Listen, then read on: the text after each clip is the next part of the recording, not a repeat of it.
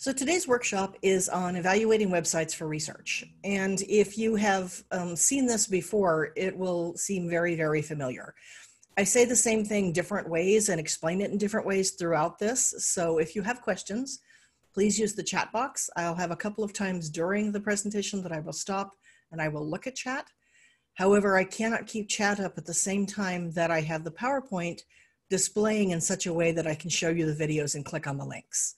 Um, so don't worry if I don't see your question right away. Just bear with me and we'll go with it. Okay.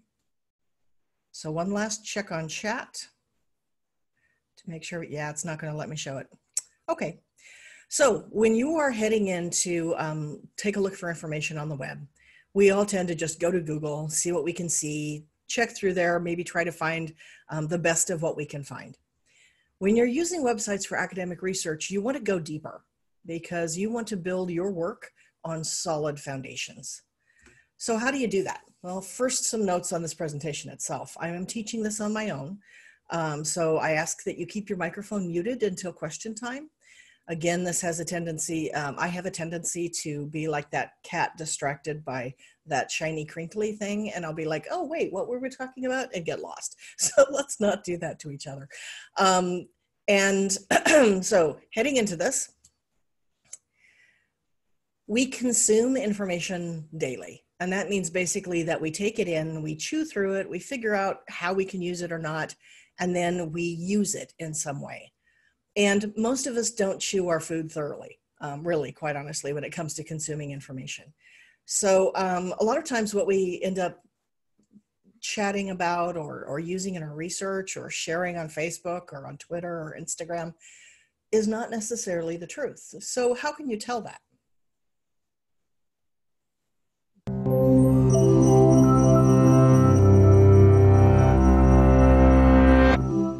There's a quote usually attributed to the writer Mark Twain that goes, A lie can travel halfway around the world while the truth is putting on its shoes. Funny thing about that, there's reason to doubt that Mark Twain ever said this at all, thus, ironically, proving the point. And today, the quote, whoever said it, is truer than ever before.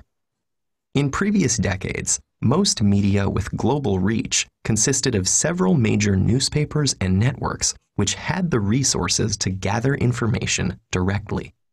Outlets like Reuters and the Associated Press that aggregate or re-report stories were relatively rare compared to today. The speed with which information spreads now has created the ideal conditions for a phenomenon known as circular reporting. This is when publication A publishes misinformation, publication B reprints it, and publication A then cites B as the source for the information.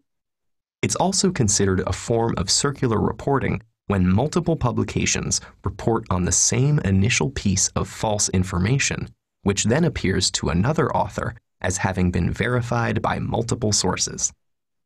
For instance, the 1998 publication of a single pseudoscientific paper arguing that routine vaccination of children causes autism inspired an entire anti-vaccination movement, despite the fact that the original paper has repeatedly been discredited by the scientific community.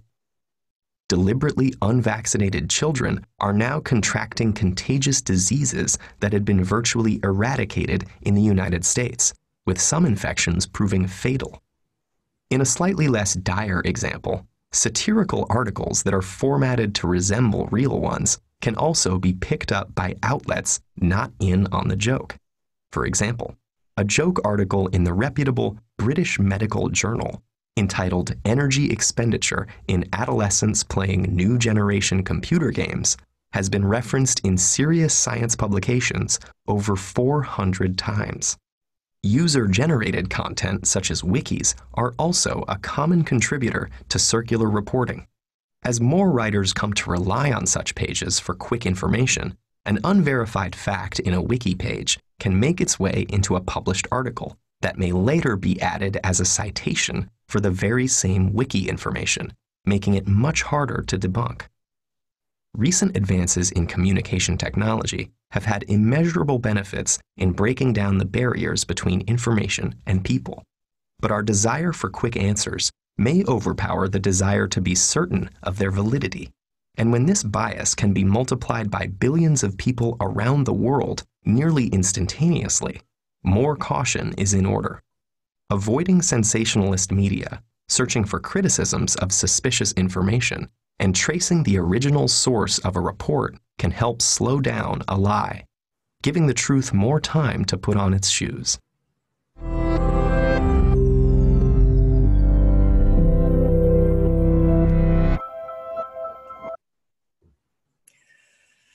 So as you can see, sometimes it's a little difficult to untangle the truth from fiction out there. Um, when you're looking at websites, there are many, many, many different ways that people approach information. And sometimes it's very hard to tell what's useful and what isn't. So there are three general categories that I sort of put websites into as a way of determining if something is useful. Starting right off the bat, is it unsuitable to what the question that you're answering? If you go out there and you have research and you're trying to find data, if it's unsuitable, simply don't use it. Is it subjective, which means it's tied to uh, individual or personal experience, not necessarily to uh, research that can be um, tested and proven? Or false, just flat out lies. Um, the only time you should use these websites is if that's actually the topic of your research and you're using them understanding the, the slant or bias or falsity of that information. One of the ways this happens is via parody. Um, so sites made for human humor humans, all of them are made for humans except the ones made for cats.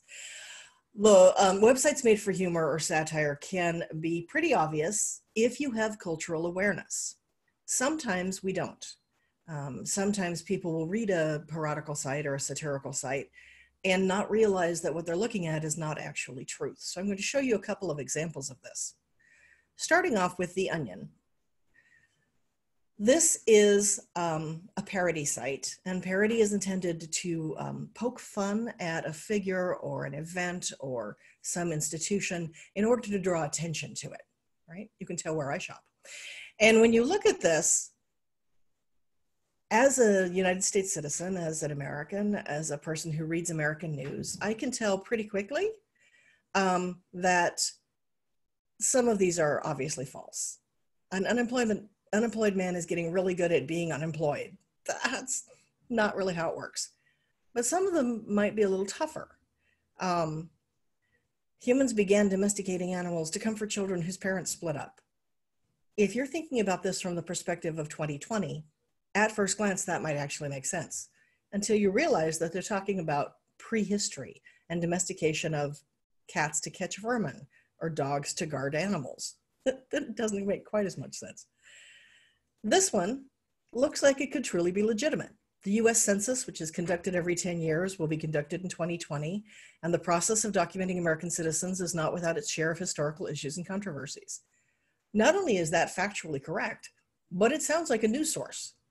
This can fool people all too often. Um, not that long ago, the leader of North Korea, um, or people working on his behalf in social media, touted a story from The Onion as being complimentary to their leader, when in actual fact, it was quite the opposite. And they didn't know because they didn't realize that it was a parody news site. It was not an actual news site. Another example of this would be the rising wasabi. I happen to like Japanese culture and Japanese food, and I have a lot of friends who are Japanese. Wasabi is a very spicy condiment that you can only have a little bit of it before it burns your tongue. Um, the Rising Wasabi is a satirical site that you can only read a little bit of it before it burns your brain. so when you take a look at this, some of them are obviously funny, but might be true. Japan to send two toilet paper rolls to every household. As an American, I am probably geographically ignorant. I may think this is perfectly legitimate. However, this one, the Olympics postponement causes 5,491 people to immediately test positive for coronavirus. It is true that the 2020 Olympics in Tokyo have been postponed. This would not cause a spontaneous outbreak of coronavirus. Testing, maybe, but not coronavirus.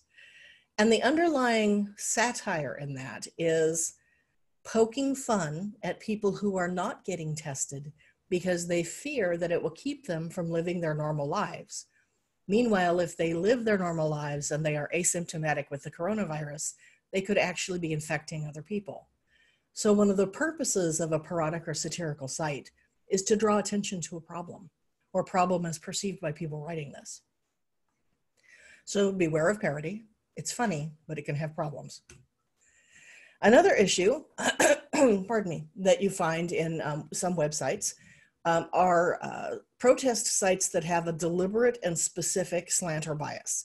And that is because they are taking a side on an issue of perceived injustice. So, because of this, they're going to target specific issues or people. An example of this is Fight for the Future. This is a beautifully produced website that is specifically created to draw attention to issues that this group considers to be extremely important. It also has an about us, which is a good thing to take note of. Any group that is open about who they are uh, may be more trustworthy than a group that tries to hide who they are. But always investigate it. Because when you click about us in this case, it talks about the mission of this particular website, of this particular group, but it doesn't actually give any contact information or any names. To do that, you have to go elsewhere. So this is about us in the sense of the organization, but not in the sense of the creators of the content. So you have to dig a little bit. Another is freepress.org. Notice that both of these are .org, and I'll talk more about domain a little bit later in the presentation. In freepress.org, they also have a specific slant or bias. And you can tell pretty quickly by looking at their headlines what that is. So if you use information from a source that has such an obvious and specific bias, be aware of that and find information from the other side of that particular event or person or whatever it is that they're talking about so that when you present your paper, presentation, speech, whatever it is, you have looked at the entire topic and can give a balanced presentation and have a more full understanding of your topic.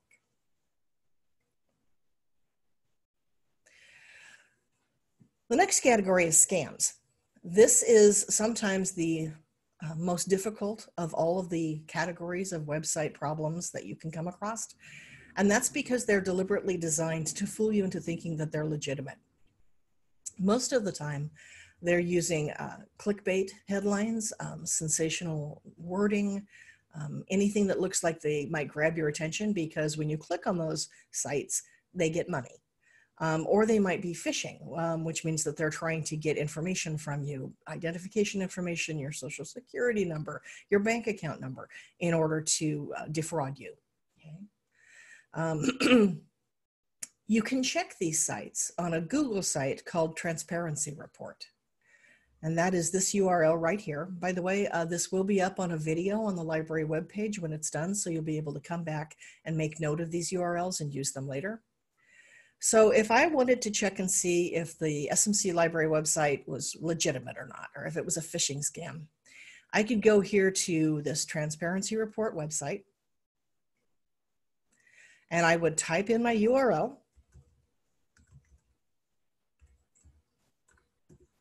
spell it right, and then search it.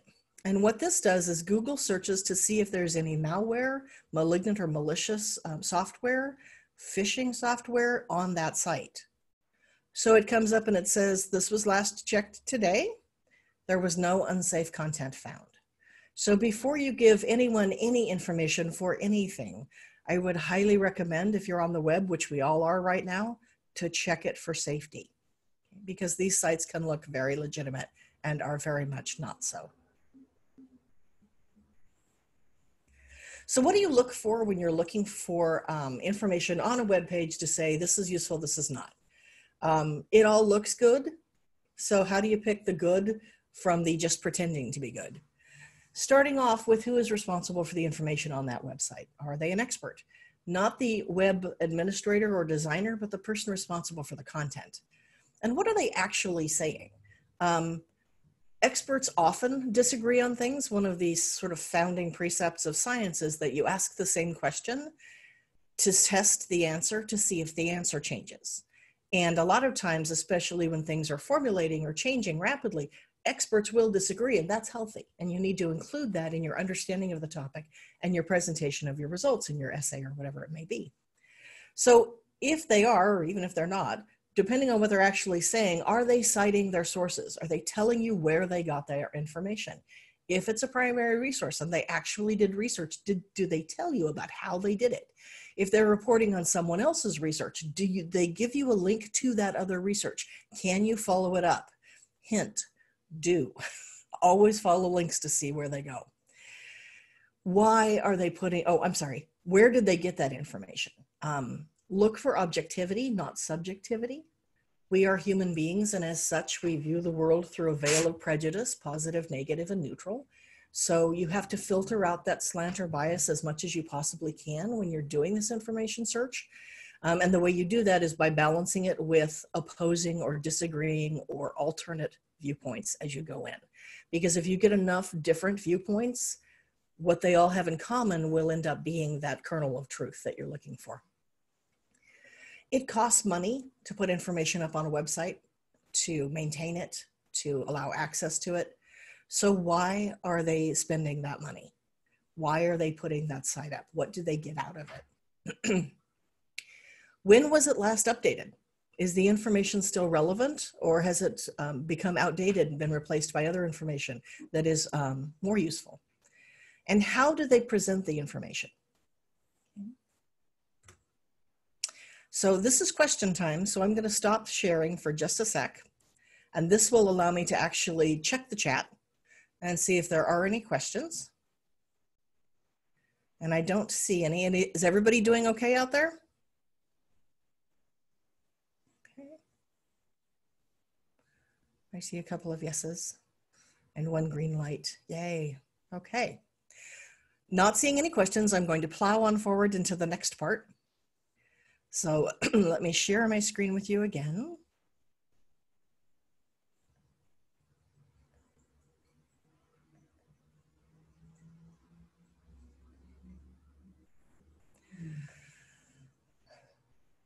Now that you've sort of gotten an idea of how you break things apart to look at them, the very first thing that you look at is authority, expertise.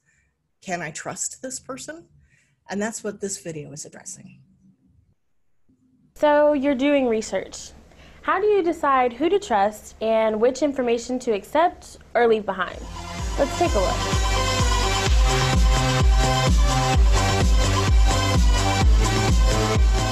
You're probably already an authority on something. Your friends may go to you for advice and guidelines on how to do certain things, like calculus or how to make great chili. It doesn't necessarily mean that you're an expert on the subject or that everyone should trust you or your cooking, but it does mean that your social circle has come to recognize you as the one to go to for certain things. Your friends may love your chili, but you might enter it into a competition with professional cooks and find that you've got a lot to learn. The same kind of thing goes for your academic knowledge. You might be a knowledgeable and useful tutor to your peers, but try to apply for a job as a calculus professor and you'll find your way out of your element. That's because you're trying to function in a new and different community. Systems of authority, trust, and reliability can look different in a variety of groups. Figuring out who to trust also depends on your information need. If you're writing an in-depth research paper on action movies and evolving gender roles, you'll probably need to use library databases and investigate some scholarly articles written by experts on that topic. But if you're just trying to decide if you should spend a few bucks at a movie theater, you can read reviews online, potentially written by anyone. It doesn't have to be a professor of gender studies or film criticism. But even in these simple cases, you might decide that you trust one reviewer over another. Why is that? Is it because you already agreed with their point of view? Think carefully about why you decide to trust any information, and don't take anything for granted.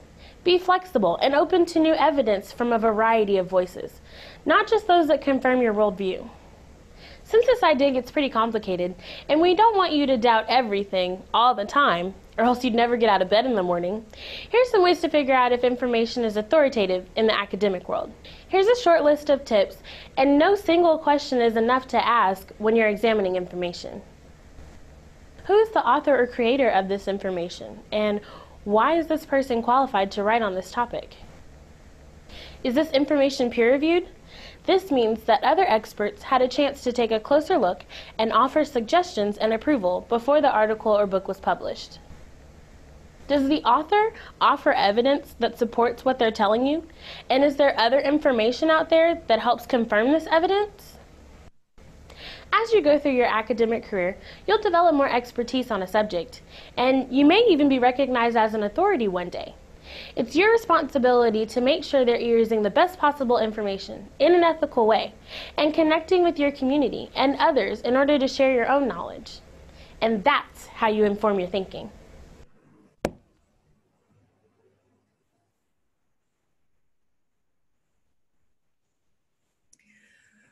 So we're going to start with an example. And before I get into that, you'll notice um, that I've added an extra little uh, word here to my Google search. This is what's called a domain limiter. And a, don a domain is um, the last three uh, letters at the end of your URL. And what that tells you is who is responsible for that content um, and what sector of industry or education they're in. So a site limiter tells Google, I only want you to find information from educational sites. That would be site colon dot edu or nonprofit or not-for-profit organizations, site colon dot org or US governmental information, site colon dot gov. So if you add a site or a domain limiter to your search, you will force Google to only look for information from those information providers. Please be wary.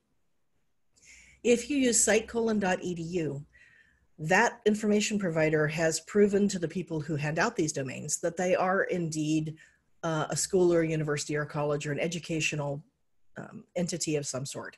But that could be anything from a research university to kindergarten. so be aware of the level of your information as well. Um, I've had students in uh, scholars history classes before use websites that they thought were perfectly fine. And when their teacher took a look at them and finished laughing and graded them down, it was because those websites were actually, in one example, a class project from a middle school. So good information, but not appropriate to college level research. So be aware always, ask those questions. Don't um, ever rely on like answering one of those questions to determine if you can trust it or not. So I'm going to go into a little bit more depth on those questions right now. Um, when we talk about who is responsible for that information, we're saying what are their credentials? Do they have a degree or other qualifications? Have they worked in that field for 30 years? Are they an innovator who's known in that field? Um, have they published before on this? And what sort of um, things have they published in? Have they published in scholarly journals? Have they published in trade magazines, etc.? Um, and given the information you can find out about the author, do you think they're an expert? Yes, use it. No, don't use it. Need more information to figure it out? Do some more research about this person and try to find out. What are they actually saying? Well, is the website subjective or objective? Is it factual or opinion based? Or both. And oftentimes they're a little bit of both. So be careful what parts of the website you end up using. And if you have something that you really want to use in your essay and you're like, but it really is kind of an opinion, just make note of that when you write about it. Say, you know, this really struck a chord with me. And that way you're showing your teacher, you know, this is not objective fact, but it was also important to your research and it informed you on your topic is the information in that website balanced? Um, and if it's not, does it have links to the other side of the argument? For example, there's a, a website from the Catholic Church called Catholics for Choice. Um, they stand against some of the precepts of their own organization. And they have links to both sides of the question because their purpose is partly to put forward their agenda and partly to encourage people to think about what they're saying and you think best about something if you know more about it.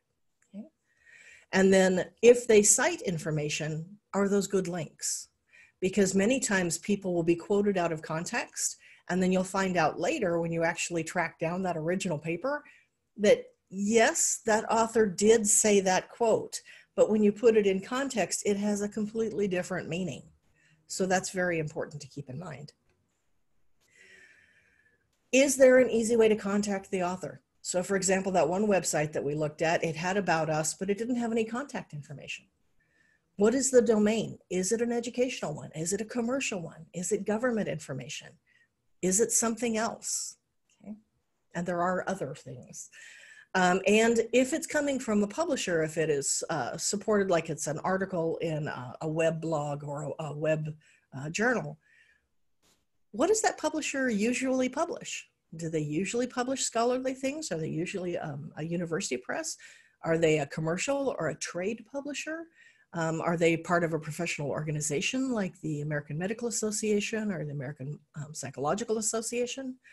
Are they a non-profit or not for profit? Um, Nonprofits and not for profits have specific purposes. So they will have an inherent slant or bias, just like many do, but theirs will be um, quite often more uh, pronounced, more deliberate, because they are trying to raise awareness and often money to support or fight a particular thing, right?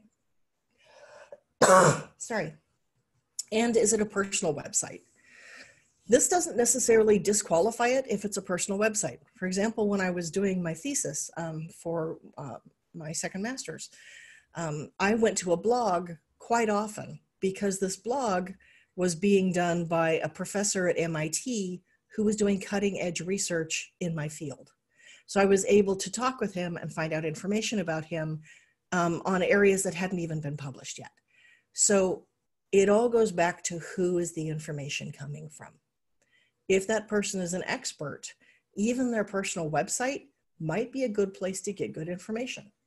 But if you cannot find credentials for a person, don't trust them. It doesn't matter how many YouTube videos they put up. It doesn't how, matter how many followers they have. That just means they can talk and people like what they're hearing. That doesn't necessarily mean they're an expert, so try to find their credentials. I'm going to answer questions in just a sec. I see some really good ones coming up in chat. Time is important because information has a shelf life, especially when it comes to news. So when you look at a website, when is that information actually published or copyrighted? And I'm talking about the information, not the website, because oftentimes the webmaster will go through, make sure all the links still work, make sure nobody's bombed them, whatever. Um, but the information, actually the content of the website might be a year or two or five years old. If it's older, it's historical. Pardon me. And if you know it's historical, you can use it in that context. You can say, this is a snapshot of how it was in 2015. Then update it with other news sources. If it cites primary research, in other words, it talks about a study or um, an experiment that was done, try to find out when that experiment was done. I mentioned earlier that in science, they ask a question over and over and over again, partly to see if the results that they get when they do their um, experiments are replicable, but also partly to make sure that the answer hasn't changed over time. So if that answer has changed, you want to make sure that you get both the historical perspective and the current perspective. And an example here is how gender difference is viewed by the psychological um, profession even as uh, late as 10 years ago, certain things um, like placement along the gender spectrum were actually considered um, psychological disorders. And today, with a better understanding of how the psyche works and how gender works, they're not. So, if you don't get the most current information, you could be missing very important pieces of information, and you could be basing your um, research and your uh, ideas and your presentation and your critical analysis on information that is not the best. Okay. If it is current, cool. Look at your topic. Is it important for your topic that it be current? If I'm doing an art history paper and my subject is Caravaggio, it could be 100 years old and still be quite useful. Okay. That is determined by the question you're asking, by the topic of your paper. I apologize. And finally, for this one, why did the author write the content? Are they trying to educate people about something, either for action or because they are educators? Are they trying to uh, sway opinion and persuade people to agree with them? Are they just going absolutely crazy in shelter in place and need to entertain people? Um, are they trying to sell you something? And that could be merchandise, it could be an opinion, it could be a vote, or something else. What are they trying to sell you on? Lastly, look at how it's actually written. What kind of language is used by the author? Is it formal, academic? Um, is it informal, colloquial, everyday language? Is it specialized to a specific discipline or a specific industry? That tells you about the audience that the author is trying to reach. And does it include any sort of primary research, like an experiment or a survey, or outreach, like interviews? Any secondary research, like data or statistical analysis, or a literature review? And does it have links to other appropriate and useful websites? When you put it all together, based on what you determine with these questions, you ask yourself, should I rely on the information that I find on this website for my essay? Why or why not? Anytime you use information, you should be able to articulate a good reason why. And if you can't, it might well be that you're relying on your own opinions or your own biases. So check those because you want to make sure that you understand your topic as fully as possible because only when you understand your topic fully can you write and present intelligently about it. Okay. And if after doing all of this, you're still like, I don't know, it might be me, it might be that it looks really good, I just, I don't know. Ask the experts, talk to your instructor, see if you can track down the people who wrote that article. And here on the library homepage, use the Ask a Librarian button. This is 24 7 research assistance from librarians, either Santa Monica College librarians or college and university librarians from other colleges and universities anyone you get hold of when you click on Ask a Librarian will be a college or university librarian and they will be happy to help you. Okay. Now I'm going to take a quick pause here and answer some chat questions because I notice we have a few, which is wonderful. Does it make it less credible if it's hard to contact the author? Yes, short answer. Um, and the reason why I say that is because um, if the author is a reputable author, they will welcome questioning.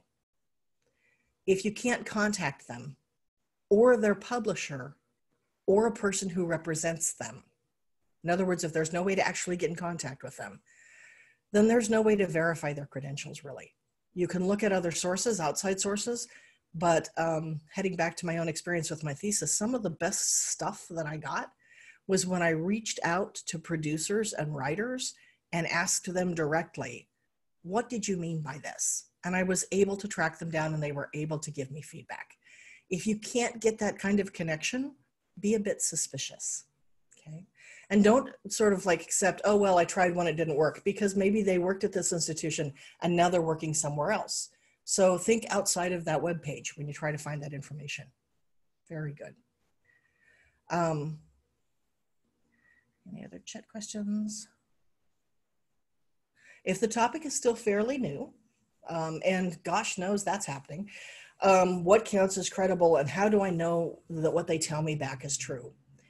Um, one of the best ways to determine if something is credible is to look at multiple sources and also look at the credibility of the person giving you this information. So uh, I'll use this as an example. Um, I was on a Facebook page the other day and I'd posted something that was from Dr. Fauci, who is um, one of the lead virologists in the United States. and someone immediately posted back and said that his opinion couldn't be trusted. He was a bad guy. And I didn't get defensive about it. I wanted to know why this person thought that. So I wrote back and I said, you know, based on what? Tell me your, tell me your, um, where you're getting this from. And the person posted a video So I went and I watched the video and I thought, well, she's very passionate, but I couldn't find anything about the woman in the video. I had no idea who she was. I didn't know where her credentials were. And when I got back on the, on the um, blog and I said, well, when I look at about her, all I find is her opinions and requesting money. Yes, she has a lot of followers and she's very popular, but I can't figure out anything about who she is. And the person that I was having this discussion with posted back by posting more videos by the same person. So they're going back to the website to determine the credibility of the source when that website gave no evidence for credibility for that source.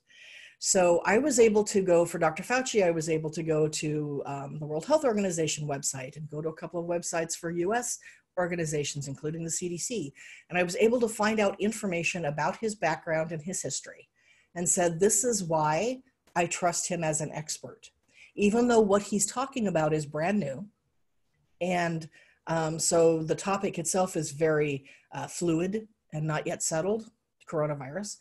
Um, the fact that he has um, experience for the past 30 years um, with AIDS, with the Ebola crisis, with other virus um, crises, makes me more willing to trust his word than a self professed researcher with no contact information and no outside validation of credentials. So, um, one of the ways that you can definitely count to see if something is credible is not to look at the topic, but to look at the producer of the information about that topic. Does that make sense? Okay. Excellent. I think that's cutting up, getting, yeah, I can speak English. That's catching up on all the chats. So here's some examples of some um, bad websites, bad, bad websites. This is one of my favorites because I think it's hilarious. It might be offensive to religious people in particular areas, so I apologize in advance. But when you look at this, especially in an age where we're all at a distance, you might actually think that this is something that the Catholic Church has put up to try to give their parishioners some comfort until you actually look at some of the links. And then you're like, hmm, sloth, I'm definitely having a problem with that. Proceed to confessional. You have not confessed any sins yet. If it starts feeling like you're being circular, back out. Not a good website. Another one that I find um, rather funny is Bandersnatch. Welcome to America's only genuine diploma mill. Something like this is pretty obvious that it's not a very good website, but something like this can be confused with true news. And that goes back to what we talked about with satire and parody. So just be very careful when you go out there to make sure that what you're getting is not someone's attempt at humor passed off as news. So, how do you check your facts? Well, there are fact checkers for that. And the nice thing about fact checkers is you can check them out as well. Take a look at the arguments that they give when they're uh, giving um, information about particular questions. So, for example, factcheck.org. It's not letting me do this for some reason. So let me go back in. And I'm just going to type it in, factcheck.org.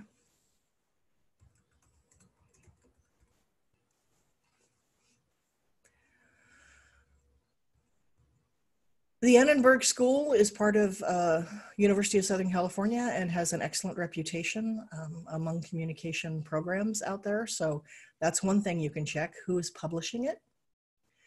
Then you can take a look and see what types of information that they're talking about. Now, what I find interesting about this when I come across it right off the bat, they will tell me I had this uh, story that I was wondering about and this fact check says that this Democrat's response was incorrect. And then I have this story that they checked on, and this said this Republican's facts are incorrect. So, right off the bat, I can tell they're not necessarily taking a partisan stand. They're looking at things that come up. I'm going to click on one to take a look at how they do it.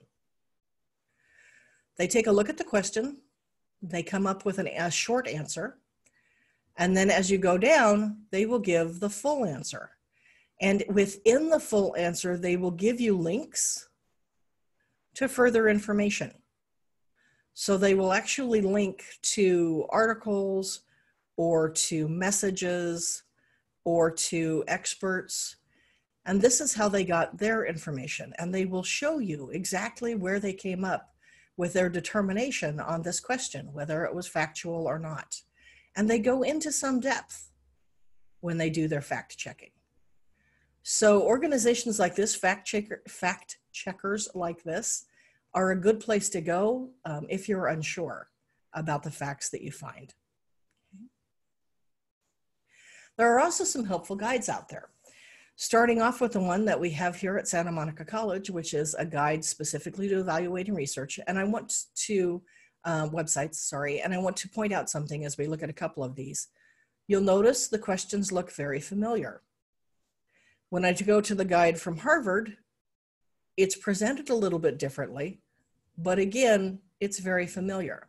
And also on Harvard, they have a similar um, guide to evaluating journal articles and a more general guide to evaluating information from any source.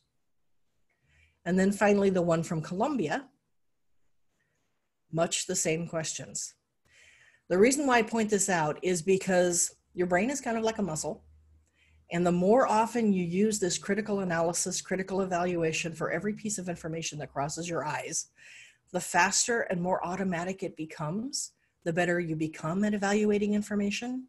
And eventually it will be, it will literally come to a point where you'll be reading through something and you'll, your spidey sense will tingle and you'll be like, something about this seems off. Um, and you actually get sort of a feel for something that doesn't seem quite right. And at that point, you investigate further, right? So train yourself. It's like muscle memory for your brain. And now it is question time. So let me head back to chat. I don't see any other questions. Does anybody have any questions from the presentation today that they would like to ask at this point? Okay.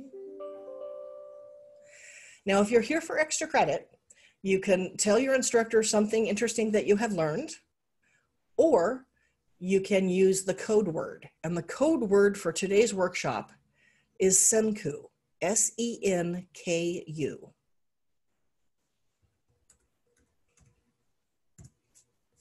This word has no context within this. So if you present that to your teacher and say, this is the code word that um, Professor Antrim gave you, okay. Now, how long does it take for you to research? I'm a research geek. So, um, and I'm also a fan writer and just like a fun writer. So I can dive into the research hole and never pull myself out of the whirlpool. So for your, as students, what you need to do when you're doing your research is you need to plan your time.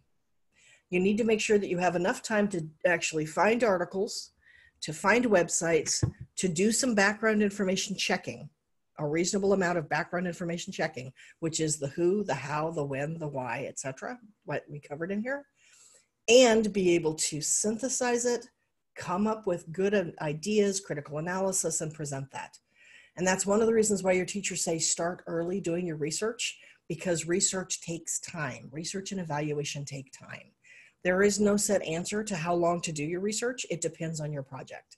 If you're in an eight week class and you have to do an essay, you may only have a week. And within that week, you may need to do all of it. Um, if you're in a 16 week class, you may have two months. If you're working on a larger project for a portfolio and a capstone class at the end, you may have two years. So my best answer for that is do your research until you're satisfied with the answer. And if you feel like you've done an appropriate amount of research and you're still not satisfied with your answer, ask a librarian, talk to your teacher, ask the discipline experts to give you some guidance because you don't want to waste all of your writing time doing research. And I see I have a Dr. Stone fan in the audience. Yeah. So, any questions at all on anything that we have covered today?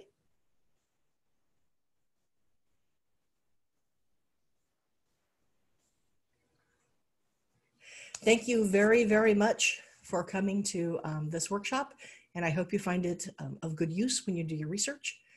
Be well.